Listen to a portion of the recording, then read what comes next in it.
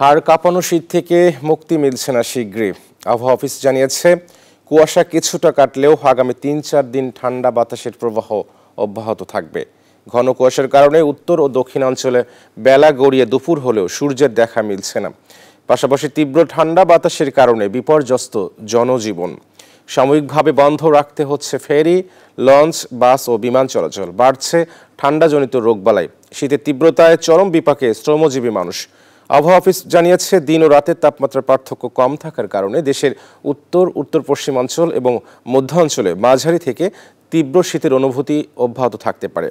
নওগাঁ, দিনাজপুর, পঞ্চগড়, যশোর চুয়াডাঙ্গা অঞ্চলসমূহের উপর দিয়ে মৃদু শৈত্যপ্রবাহ বয়ে যাচ্ছে এবং তা অব্যাহত থাকবে।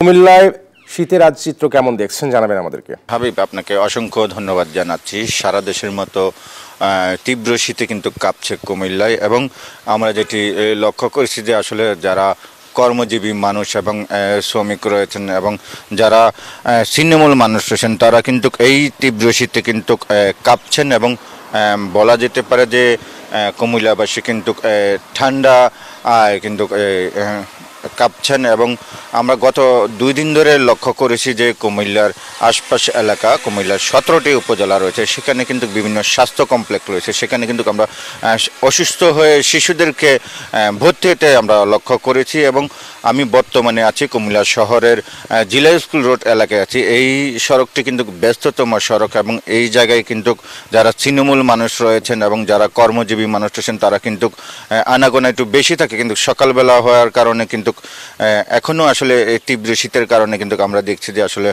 মানুষের উপস্থিতি উপস্থিতি কম। এবং আমরা একটু কথা বলতে চাচ্ছি এখানে যারা এসেছেন। আপনি তো এখানে এসেছেন। হ্যাঁ। ঠান্ডা কেমন দেখছেন? অনেক ঠান্ডা। গত দুই তিন দিন ধরে গত দুই তিন দিন ধরে প্রচণ্ড ঠান্ডা মানুষের জনজীবন বিপন্ন। ঘর থেকে বেরোতে পারছে সারাদিন কুয়াশাচ্ছন্ন আজকে দুই তিন দিন ধরে। তাপমাত্রা দশের নিচে নেমে আসছে। আমরা ঠিকমতো আমরা অফিসে যেতে পারতেছি না ছেলেবেলাতে স্কুলে পাঠাতে আমাদের অনেক কষ্ট ধন্যবাদ আপনাকে। আপনি শুনছিলেন যে আসলে যারা সাধারণ মানুষ, তারা বলছিলেন যে এই ঠান্ডার কারণে তারা বিভিন্ন কাজকর্মে তারা যেতে তাদের বিলম্ব হচ্ছেন। তো সব কিছু মিলে আসলে যে কুমিল্লায় যে শীতের তীব্রতা কিন্তু বেড়ে চলছে। এই ছিল আমার কাছ থেকে সর্বশেষ। হাবিব। শুভ সকাল। আমি রয়েছি রংপুর নগরী জলকর্মরে। আপনি জানেন যে গত কয়েকদিন থেকেই রংপুর অঞ্চলে জেঁকে বসেছে শীত, অর্থাৎ তীব্র শীতের কারণে যুবথুবু জীবনযাপন উত্তর অঞ্চলের মানুষের, অর্থাৎ বিশেষ করে নদীর তীরবর্তী এলাকা যারা বাস করেন এবং চরে যারা বাস করেন, তাদের জীবনযাত্রা একবারে কাহিল হয়ে পড়েছে। শীত বাড়ার সঙ্গে সঙ্গে রংপুর অঞ্চলের হাসপাতালগুলোতে দেখা দিয়েছে ঠান্ডাজনিত রোগের প্রকোপ।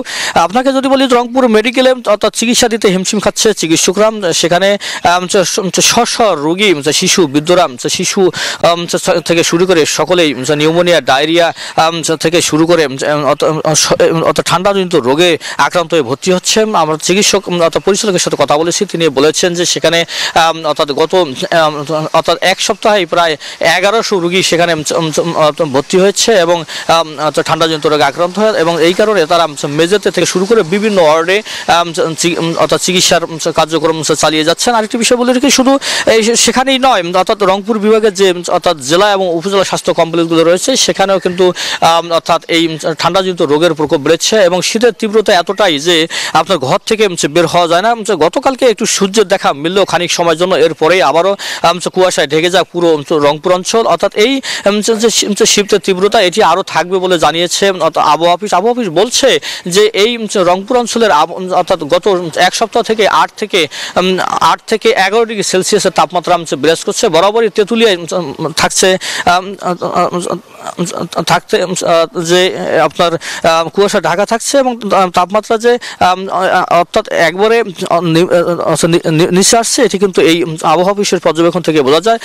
তারা কিন্তু তারা কিন্তু বলছেন যে তাপমাত্রা আরও নিচে নামতে পারে, ছয়ে নামতে পারে বলেও আমাদেরকে বলছেন আবহাওয়া অফিসের কর্তা ব্যক্তিরা এবং স্বাস্থ্য বিভাগও বলছে যে ঠান্ডার প্রকোপ যদি এই অবস্থায় থাকে, তাহলে কিন্তু দেখা যাবে যে অর্থাৎ ছয় যদি নিচে আসে তাহলে আম, রোগ ব্যাধির উম, প্রকোপ আরও বাড়বে এবং খেটে খাওয়া নির্ময়ের মানুষ যারা তৃণমূল মানুষ তাদের দুঃখ দুর্দশা আরও বাড়তে পারে বলে মনে মনে করছেন সংশ্লিষ্টরা। তাহলে এই ছিল আমার কাছে রংপুর থেকে সর্বশেষ।